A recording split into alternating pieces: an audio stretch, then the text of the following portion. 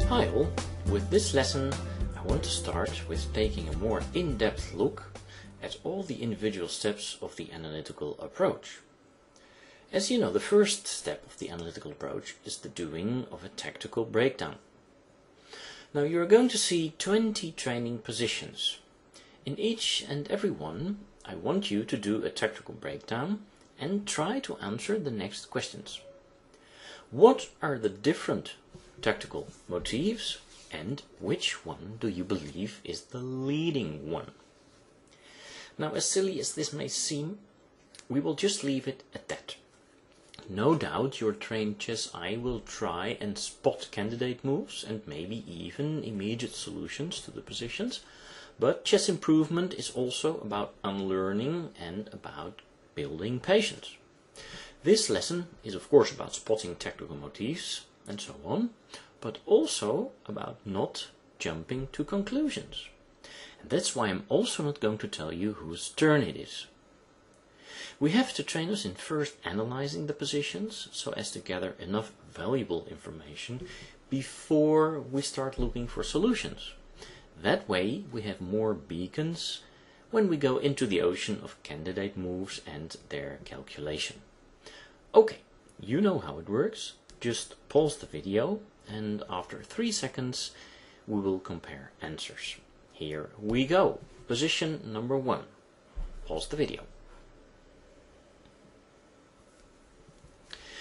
Okay, well, you don't know whose turn it is, but if we look at the position, I suppose that, um, well, one important motif is that white is up in material, he's the exchange up, right?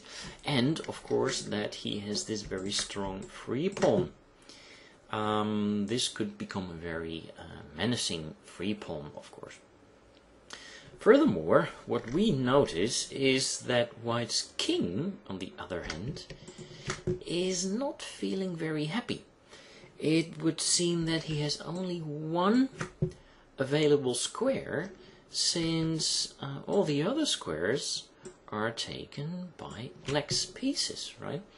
So in this case, yeah, of course, it would be important to know whose turn it is, but as said, we will just leave it at that, and we will come back to all these positions uh, on a later moment. So I think these are um, the important, or the most important tactical motifs. Okay, we go to the next position, and I will also just, uh, yep, I will just uh, switch also sides every now and then so as to, uh, well, confuse you if you like. Uh, okay, um, pause the video. We'll be back after three seconds.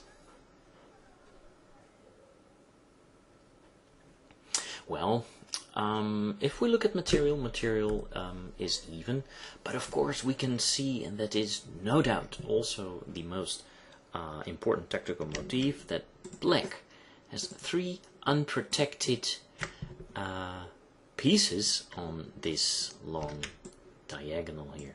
That is, of course, a very important tactical motif. Your eye should spot that and then in the next step of the analytical approach try to find candidate moves that uh, act upon this theme, upon this motif. Okay. Um, okay, let's just switch sides again. Okay, here we go. Three seconds. Well, I suppose that maybe maybe you've seen this knight fork here, right? That is an important tactical motif. I suppose it's also important to note that the queen, and I usually use yellow for defense, is still safeguarding that c7 knight fork checking square. Also we can see that the queen herself is unprotected and that also this knight is unprotected. I suppose that sums it up quite nicely.